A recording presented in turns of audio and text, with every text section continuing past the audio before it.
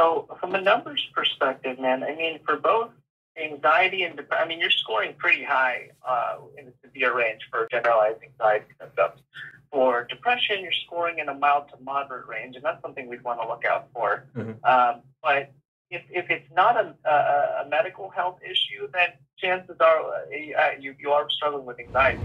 Before this video starts, please know it is not for sympathy. This is to share my experience as an artist and a creative who deals with anxiety and other mental health issues in the past. I also want to put this out there for the people who are waiting for me to get back to them. It's not that I'm just ignoring you, it's just I'm dealing with things, and these are those things.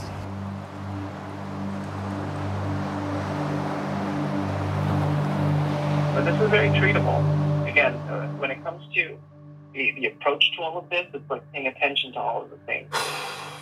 Okay, so what you just heard was an appointment oh, that I had with a behavioral health specialist. Now, I've made videos on this channel about being depressed as a musician before. It's been rough these past few weeks because of wherever in the corner I'll show the video, but also just work and growing and stress and life. So many, there's a whole entire life that we have to live outside of creating in these four walls or wherever you create your music. It's hard enough trying to manage your own music creation and this thing that you love, this thing that you have to teach yourself and you have to learn new skills or else you become static and boring. But it's hard to learn those things, those new things, and to grow when you're also trying to manage your own life, your own mentality, and make sure that you want to live the next day. I know that sounds dramatic, but some people, that's the reality, you know? And so I want to talk about it. I want to talk about the things that happen outside of the studio as much as I want to talk about the things that happen inside the studio. Why do I want to do that? Because we as musicians are people as much as we are musicians. We're humans first, blessed with the power to create and to make something out of nothing. But in being human first, we have to look after our health physically, we have to look after our health mentally. Granted, yes, some of the most creative geniuses out there are some of the most challenged mentally. But that's not a flex. You know, it's not a flex to be insane and a genius.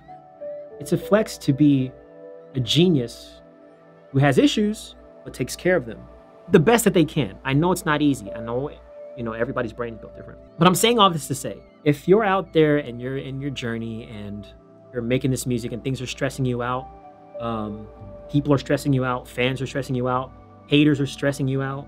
If you're out there and your journey is not where you want it to be and you're comparing yourself to other people because this is something I do every day I scroll Instagram, every day I scroll TikTok, every day I scroll YouTube. I'm comparing myself to people who have been working at their craft a quarter of the time that I have, but have four times the success that I have. Meanwhile, I've been doing this for 25 years. 25 years. Comparison is the thief of joy, and that's part of the mental health thing. You can't keep comparing yourself to other people. I'm kind of like going all over the place. Let this just be a lesson to everyone out there who's a musician, who's a music producer, a musician, a performer, an artist, any of those things. In this field, stop comparing yourself to other people. Stop comparing your music to other people, your success, your journey, your life. That's what screws most of us up because we think we have to be technically sound. We have to know all the terminology and things to be considered great music. Stop comparing yourself to people who went to college. They had hundreds of thousands of dollars to do that, or they went into hundreds of thousands of dollars of debt to do that. You might not want to go into hundred thousands of dollars of debt to do that. I didn't, so I taught myself. It takes time, guys. What you don't see is the stress and the things that I've gone through in my life to get to the place that I am right now. To have these these four walls around me. So many things I had to deal with. Relationships dying and people leaving and episodes of depression and, and losing files and computers and investing hundreds, not hundreds of thousands, not yet, tens of thousands of dollars into my craft.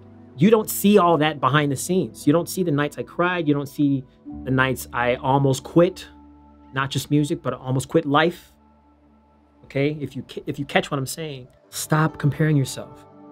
Stop it and take care of yourself. If the things in your life that are happening are not ideal, I'm not going to sit here and say just change it because I'm not one of those people. I'm just saying to make sure you keep paying attention to those things. You keep working at trying to take care and nurture those situations the best that you can because if you don't, you end up in a place where you don't want to do anything, you have no motivation, your mental health is in shambles, and you just, you know, don't think that you have to like for instance make a new song every day make a new beat every day. You have to write something every day. You have to make some kind of progress every day on your journey. You have to do this or do that or do this or do that or do this thing. Slow down. Slow down. Because it wasn't until i slowed down that i noticed i was going through hell in my mind. I was going through doubt and and not knowing what's going to happen next in life. Just take care of yourself man I do know that these situations can inspire songs. I do know that people very well, like Kanye's a big one of them. I know I keep bringing him up, but he's one of my top people, and I know what you're gonna say to that, but just leave me alone, okay? Um, we're both Geminis. I'm sure there's like 60 people that are watching this video are like, oh, he's one of those. Astrology. it goes deeper than astrology, boy. What you know about that human design, manifesting generator. Okay, what you know, what you know about that. If you guys need anything, and I know I can't answer everyone, I know. However, that was not okay. It's a it's a nail clipper. All right.